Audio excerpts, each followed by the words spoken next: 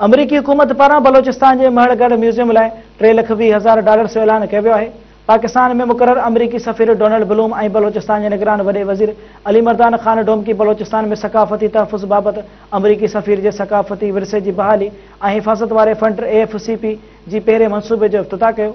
इन तारीख़ी कम लाइ टे लख वीह हज़ार डॉलर खां वधीक रक़म रखी वई आहे जेका महरगढ़ तहज़ीब जे पथरनि जे दौर जे आसारनि ऐं ॿिनि तारीख़ी नवाद रात जे तहफ़ु समेत कोइटा में महरगढ़ म्यूज़ियम ऑफ बलोचिस्तान जे इंतिज़ामनि खे वधीक बहितर बणण लाइ कतब आंदी वेंदी उन मौक़े ते पंहिंजनि ख़्यालनि जो इज़हार कंदे अमरीकी सफ़ीर बलोम चयो त असांजी ही कोशिशि बलोचिस्तान जे सकाफ़ती विरसे जी अहमियत ऐं उनजी तारीख़ी क़दरनि खे हथी वठण बाबति अमरीकी हुकूमत जे अज़म खे वाज़े करे थी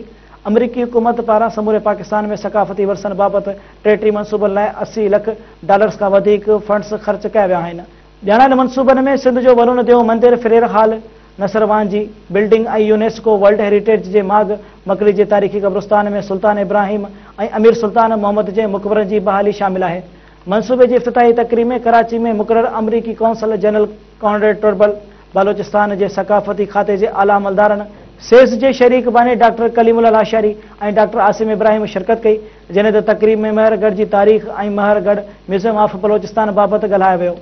बलोचिस्तान जो महरगढ़ म्यूज़ियम सेप्टेंबर ॿ हज़ार ॿावीह में क़ाइमु कयो वियो जेको ख़िते जे अवाइली तारीख़ खे उजागर करे थो महरगढ़ जा आसार आलमी सतह ते सुञाण वञनि था ऐं दुनिया जे मुख़्तलिफ़ अजायब घरनि में ॾेखारिया वञनि था जिन में न्यूयॉर्क जो मेट्रोपोलिटन म्यूज़ियम ऑफ आर्ट ऐं पेरिस जो म्यूज़िक गेमी अजायब घर शामिलु आहिनि